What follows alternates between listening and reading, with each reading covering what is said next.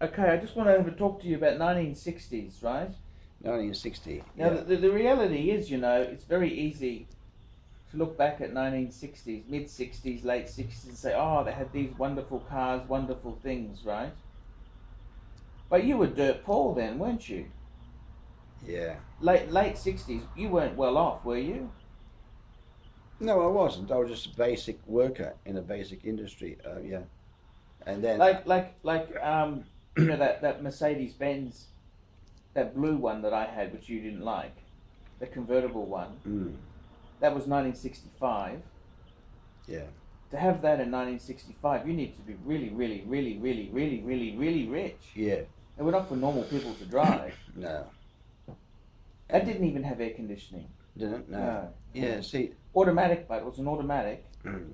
but it was And people to say, oh, automatic's not good, they break down, you know. But now, I mean, uh, who wouldn't drive an automatic? Although in England, the manuals are in sure. because of different circumstances in England. You know, narrow roads, you don't travel far, and uh, man, well, I don't know why manual would be better. Well, they're more fuel efficient. More You fuel know, the, efficient. the reason they have manuals in England is because the engines generally are smaller yeah, because fuel is so dear, yeah, and those they're not really fuel efficient. An automatic has got no absolutely no power mm, on a small engine, mm, but on a bigger engine, it's not terrible. yeah, That's the reason they have a lot of manuals because they're they're slugs otherwise. They're very slow mm, because they have diesel. Diesel. yeah. It's uh, but in 1960, you weren't that well off, were you? Well, 1960, I was only 12. I was uh, in Okay, school. no, 1967. That's when you were 18. Mm. 1967, 1968. Well, 67, I was at uni doing pharmacy, wasn't I? I was very poor. Yeah. I, I mean, you caught the. How did you get there? You caught the train to St. Lucia. I caught, no, I caught, you could sent the train to Toowong and bus to St. Lucia. Okay. Got you. Got you. And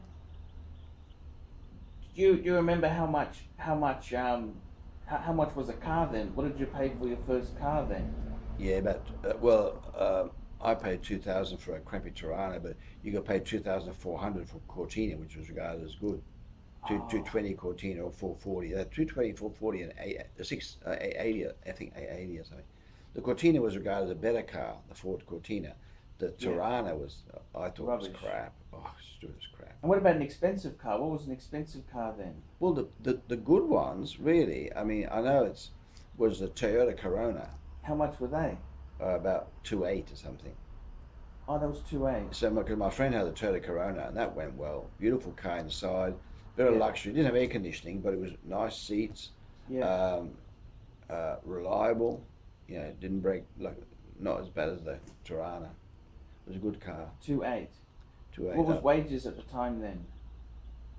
Uh, yeah, but wages were two thousand and six per annum. That's what I got, Two thousand. and six dollars per annum. I see. And uh, So probably later on three thousand. Three thousand a car was yeah, a car co- was one week's wages. One year's wages. That's what a car cost. A basic Yes. car. Yeah, Yes. with one week's wages. One year's wages. Whilst now a car what did you pay for the XB Falcon you got? For something like three thousand something. That was in the seventies.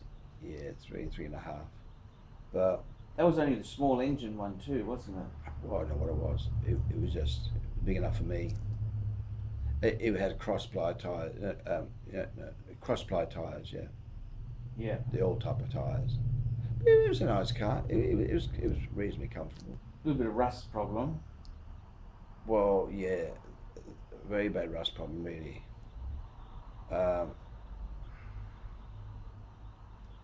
yes, I don't know why. I, I don't still don't know why do they make cars that rust? I mean, why can't they rust proof them? You know, you used to buy the thing, and the first thing they do is sell you this uh, rust proofing.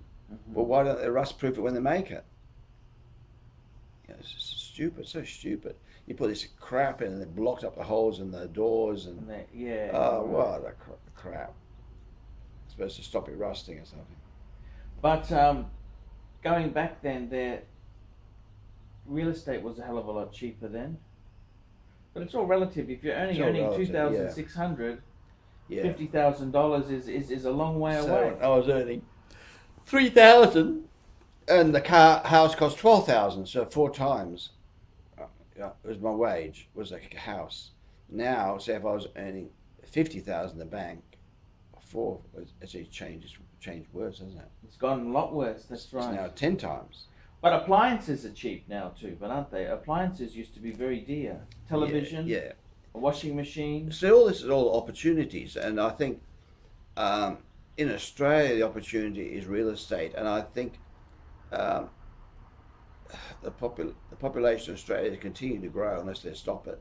Uh, it's continuing to grow. They need houses and they need property, and it, it like well, you you know you can be very rich. You, you know if, if you played your cards right, all you got to do. Let's get a job for starters. It- Get well- a job. Well, do this, do this, get a Okay, job. let's just uh, don't talk about my personal things. Then, Yeah, okay? get a job. Get a job. Get a get a job. Marry someone with money, and, and, uh, and let's get the just- wife to work five days a week instead of you know uh, part time, and um, and you you'll be rich. Okay, let's just cut that one. Next one to another one. Okay, just hang.